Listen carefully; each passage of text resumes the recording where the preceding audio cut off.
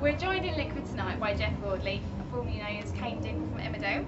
So you played a fantastic set tonight, Jeff. Have you enjoyed it? Yeah, it's been great fun. Thank you very much. Enjoyed it very much. A bit old school, you know, getting back to the old school for me, and now the the old old school really, you know, because some people might say it's just ancient.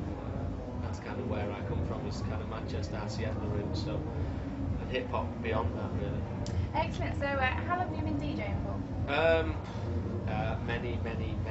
years. Kind of started uh, years ago uh, into kind of soul and funk, and then that kind of crossed over into reggae and uh, hip hop as well. So Broadening the horizons. yes. Right, we all recognise you as Cain Dingle. Do. What was your first acting break?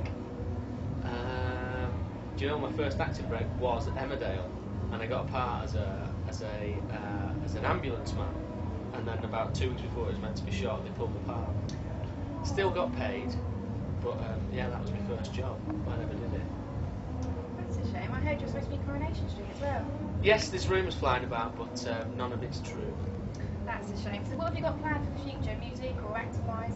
Um, just kind of lots of uh, lots of DJing. I've got a, a radio show in Manchester, uh, 96.2 The Revolution. I have a show on a Sunday afternoon, so I'm kind of very kind of much engrossed in that at the moment. And being a dad.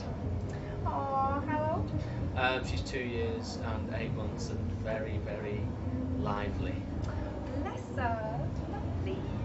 Right, have you got any messages to give out at all? Um, yeah, just uh, keep on having a good time and uh, make sure you get very drunk. And can you do a special message for me as well?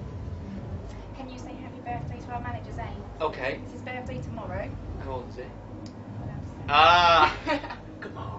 Um, 21 again. oh, Zane, for your 21st birthday, mate, many happy returns. Right. I'm sure we'll love that. Well, thank you very much for talking to us. You're Best welcome. of luck for the future, and we'll hopefully see you soon. Thank you. Thank you.